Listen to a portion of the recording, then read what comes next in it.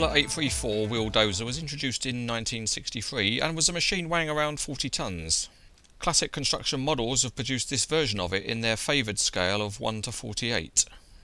The packaging is high quality, it's wrapped and enclosed in an outer shipping carton, and when you lift the lid the model sits wrapped in tissue in a polystyrene tray. The packaging includes no information on the real machine and there's nothing about the model either. However, there's no assembly to do as the model is complete out of the box, but you need to handle it with just a little bit of care as some of the parts are delicate. For the detail we'll start by looking underneath and for the most part it's pretty good with the rear differential having some good bolt details. The tyres are nice and chunky and made of rubber and the radiator at the rear is finely perforated and there are silvered lights. The exposed engine is particularly good. It is plastic, but there's very good detail of the various components. Up on top around the operator's seat there are some good metal handrails, although perhaps the levers and steering wheel look slightly large for the scale. The articulated joint doesn't have any hydraulic hoses passing across it, but it looks good enough. A particularly strong area is the front axle with the cast counterweight slabs and the good detail around the hydraulic cylinder.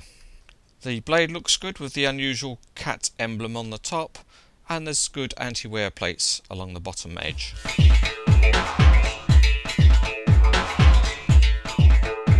We turn now to the features of the model and if we start with the rolling test it rolls very well. It's almost the sports car of wheel dozers. It's such a smooth ride. And if we look underneath each of the wheels uh, turns independently and um, with very good bearings so they really whiz along when you uh, flick them with your finger. The rear axle is fully floating with uh, lots of movement and the wheel arches also go up and down so if the wheel was to hit them it forces the wheel arch upwards.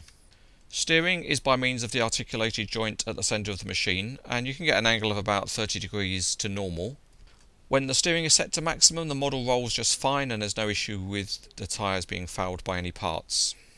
At the front the dozer blade can be raised and lowered. It's a fairly stiff mechanism but uh, that means it can hold any pose that you want to set. And there's also a very good range of forward tilt movement on the blade. In summary, CCM have done a very good job with the Caterpillar 834. It's reasonably priced and high quality, and if you like this kind of machine, it's highly recommended.